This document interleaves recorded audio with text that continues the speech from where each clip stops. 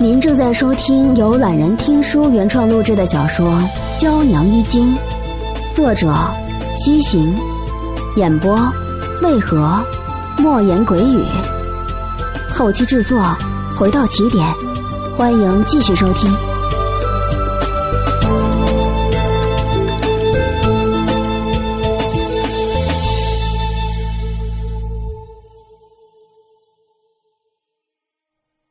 德胜楼里依旧喧哗热闹，但王十七郎却不能再一睹美人风采。随从喊道：“公子，人家说没有定好的包房，你让哪个定的？”王十七郎一面红不在意的摆手，一面恹恹的说：“是楼里的姑娘。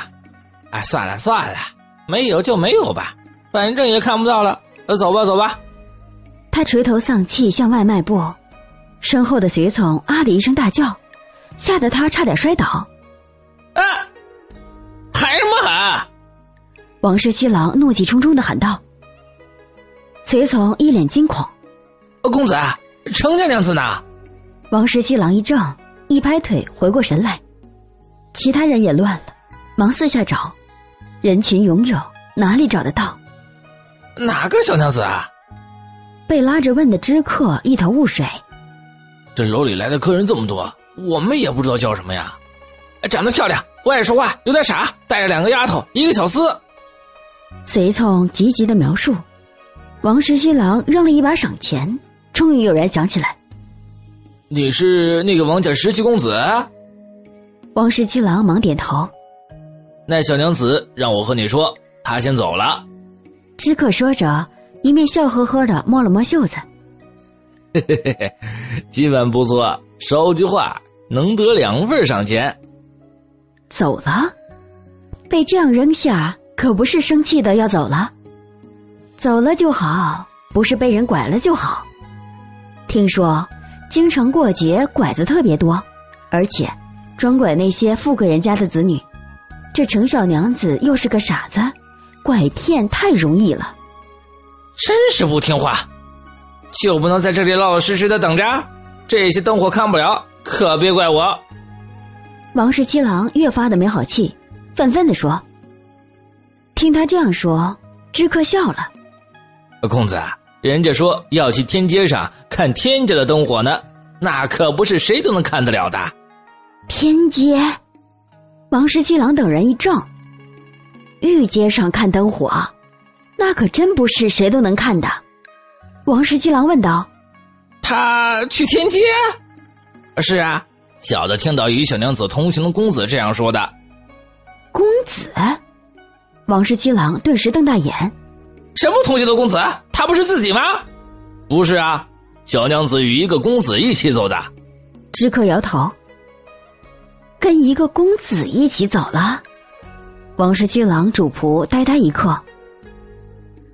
王十七郎大怒喊道：“这个不守妇道的小贱人！”竟然丢下自己跟别的男人跑了！快追，看我不打断这奸夫淫妇的腿！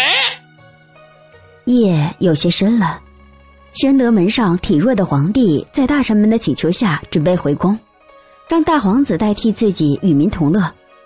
但太后委婉的提醒，大皇子到底还小，熬不得夜。我在这里吧。一直在城墙前驻足观看灯火的靖安郡王说道。我也要在这里。已经披上斗篷的二皇子也跟着喊道：“父皇，孩儿也能守到。”这话引得皇帝太后都笑了。皇帝最终说道：“魏郎在这里吧，你们两个明日还小，都跟朕回去。”我我要和哥哥一起玩。二皇子还不依。太后笑道。你都天天跟你哥哥长在一起了，分开这一刻又怕什么？一面招手，快点儿，缠了你哥哥一晚上，让他也清静的看一会儿烟火。去吧，去看看皇后娘娘，她不能出来，你与她讲讲热闹。晋安郡王抱起二皇子。在他耳边低声说道：“二皇子这才点点头。一旁的内侍忙伸手接过，在接受了下面臣子的叩拜后，皇帝等人转回宫内。随着皇帝的离开，城门上陪坐的大臣们也都退下，玄德门上安静下来，而门下的街道则更加热闹起来。晋安郡王依旧站在边上，认真的看着下方。终于，他的眼睛一亮，嘴角翘起，笑容慢慢的散开。终于等到了，天街上，烟火登山照耀下，一个女子正越过守卫们迈进来。看，在那里！一个随从喊道：“从德胜楼连跑带走到了桥头，又从桥头连跑带走到了德胜楼，然后又连跑带走的一路追过来。”王十七郎觉得自己这辈子都没有走过这么多路。他气喘吁吁，手撑着膝头，直不起腰来。听到这句话，扶着随从用力的站直身子，看过去。他们已经到了御街口，这里的人明显比他处要少很多，所以能够很清楚的看到前方的人。那个女子正回头，看身后的一个少年公子，比他处更璀璨的登山照耀下，形容明亮。这个小贱人！王十七郎喊道：“话音未落，见程娇娘身后的少年公子也侧过身，抬头看身旁的登山。哦，是他！王十七郎顿时松口气。吓死我了！原来是一家人呐！随从们不解，问道：“公子，你认得？认得，那是周家的公子。”王十七说着，舒口气。就说嘛，他怎么会这么倒霉，被人偷了未婚妻？随从们也都松了口气。不是被人偷了，也不是被人拐了，原来是遇到自己亲戚了。一个年长的随从想到什么，说：“不过公子，周家不是地平武将，竟然也能在天阶上得位置吗？”对呀，虽然是外乡人。但天阶是什么地方，他还是知道的。这周家竟然能在天阶上天子眼下赏灯，这是程家的父亲说的普通的武将人家吗？王十七郎瞪大眼看着前方，见那女子已经被好些女子围住，而且是从不同的地方涌来的女子，年纪大小不等，相同的是欢悦以及熟络的神情。他不由怔怔说道：“这色儿怎么认得这么多人？”他说着话就向前走，却被兵卫喝止。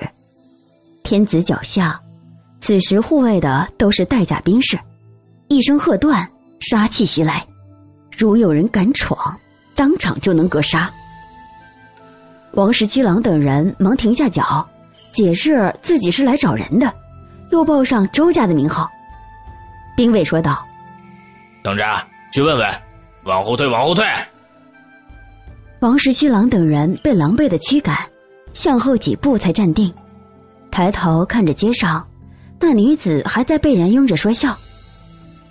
确切的说，是别人对着他说笑。姐姐，姐姐，我以为你不来了呢。陈丹娘抓着程娇娘的衣袖，一刻也没放开。去哪里玩了？跟谁有约呀？陈十八娘笑道，一面看向还站在一旁的秦十三郎。秦十三郎摇头笑：“我未婚夫。”未婚夫？不止陈十八娘，其他女子们都惊讶的愣住了。看吧，他就是这样，从不隐瞒什么，坦坦荡荡。未婚夫。第一次觉得这种称呼听起来挺好听。秦十三郎垂目吐口气，有人站过来撞了下他。程娘子，秦夫人含笑说道，一面摇着手中扇子：“ 你过来了，快来快来，我有话要和你说呢。”不行不行，程娘子要去我们家。陈丹娘喊道，抱着程娇娘的胳膊不放。秦伯母，不如你也来我家这边好了。陈十八娘笑道，挽起程娇娘另一边的胳膊。你们几个小丫头啊，竟然跟我抢人！秦夫人用扇子笑着点着说：“抬脚跟上去。欺负我年长，不敢跟你们抢吗？”见他过来，陈丹娘和陈十八娘笑着拉着程娇娘向前快走，街上女子的笑声一片。看着笑闹着向陈家围帐而去的众人，站在一旁的周夫人垂下手，自己还是接着赏灯吧，反正自己这个外甥女，别人比自己照顾的还周到。周大人，有人说是你的家人要进来。围帐里，正心满意足的与几个儿子兄弟饮酒的周老爷被人打断了。周老爷不解的问道。我家的人，他家的人都在这里呢，不在这里的也是不用来这里的。丁丁说：“说是姓王，姓王。”周老爷一怔，旋即恍然，撇撇嘴：“不认得，让他滚。”丁丁们应声是，转身出去了。什么东西也敢来这里？周老爷愤愤说道，将手中的酒一饮而尽。继续笑语欢颜，来来，满上满上。王十七郎一干人被狼狈的赶出去好远，才停下。再敢惹事儿，当匪贼论！那边官兵们喝道，警告的伸手点着。王十七郎气得跳脚，被随从死死拉住。他们劝道：“公子，这可是京城，又是宣德门前，可不敢胡来。”王十七郎愤愤跺脚，喊道。这姓周的欺人太甚！我们走。看他转头而去，随从们忙跟上，其中有两个忍不住回头喃喃的说：“看来那程家的事儿在周家也不是没人理会呀，而且好像认得很多人一般。看来，除了从小吃傻，这个程家的小娘子，他们是不是知道的太少了？”天街上的围帐里，陈老太爷和陈少都在。跟在外赏灯的女眷孩子们不一样，他们更爱清静。程娇娘进来时，父子二人正守着棋盘，杀得难解难分。隔着一张屏风，听到那边女眷们的说笑热闹。常青奴便答说：“雅马一匹。”果毅一听，很高兴。想昨天没说对，今天就长进了，就问谁教你的？长青奴记着嫂子的话，说是阿兄教的。果毅又问：“你阿兄现在何处啊？”长青奴说：“在家里。”果毅又问：“你阿兄在家里干什么呢？”长青奴说：“我阿兄。”正在屋里生儿子，还在床上躺着呢。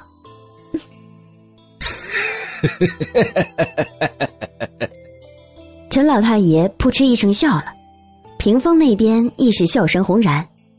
陈丹娘笑着抱程娇娘的胳膊，眼泪都出来了。陈十八娘姐妹们自然不消说，笑成一团。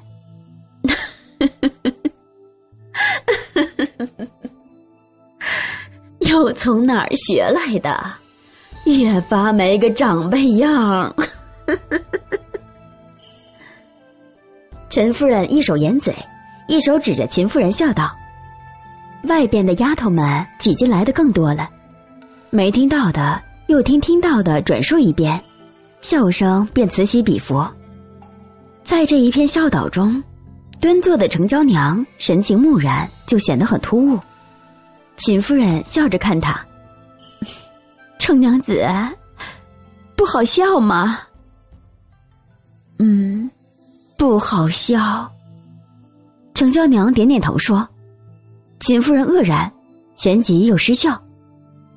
哦，这么好笑，你怎么觉得不好笑呢？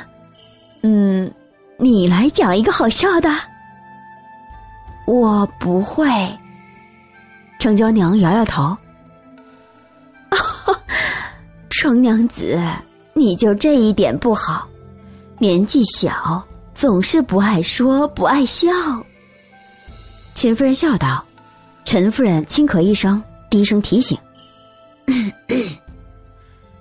别自来熟，什么话都说。这程娘子可不是往日那些环绕你左右的女子们，任你打趣还以为荣，到时候甩了你脸面，恩不成反而结了仇。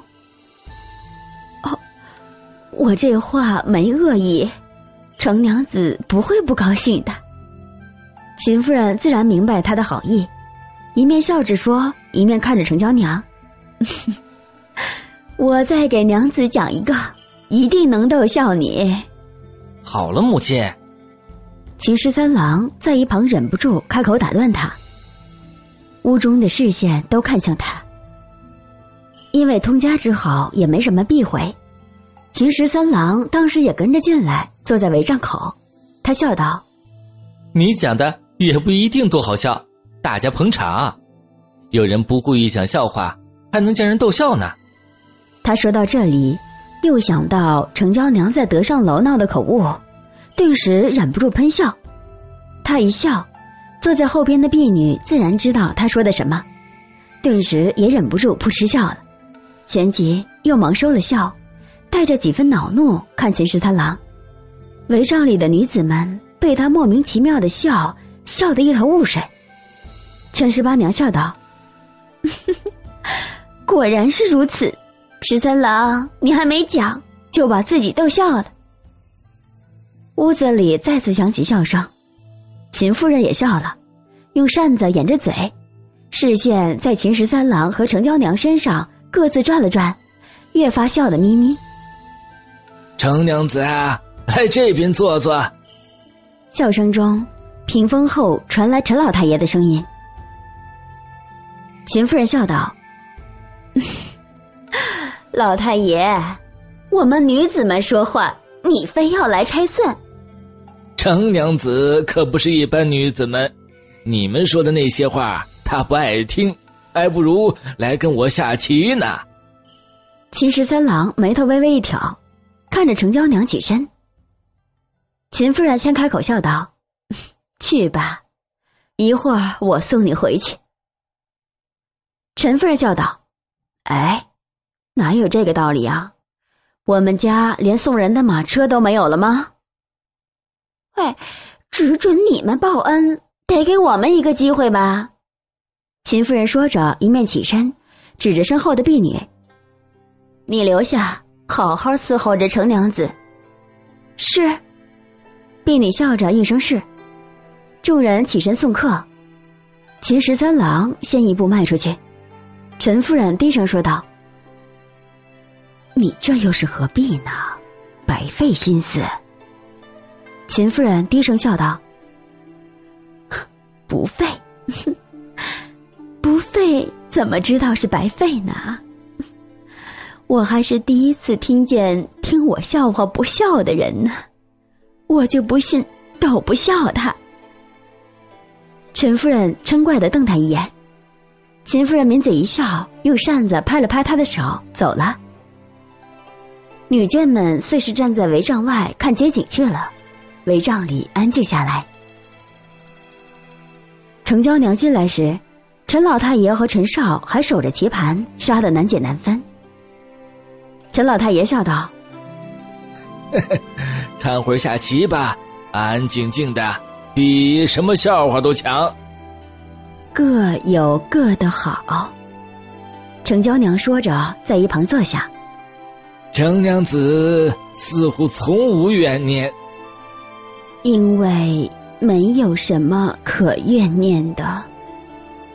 到底来说，一直是心想事成。这话说的委实不客气。竟然敢如此说，但仔细想来，他一直以来的确是如此。只有心想事不成，人才会有怨念。比如自己吗？先时大家还担心程娘子不会来自己家这里，现在看来，他怎么会不来？